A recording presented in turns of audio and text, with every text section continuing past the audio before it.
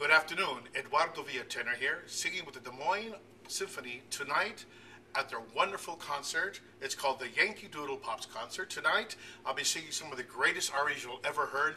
Nessun Dorma from Turandot, O oh Sole Mio, everybody's favorite, and many other songs. I hope to see you there tonight, and bring lots of water.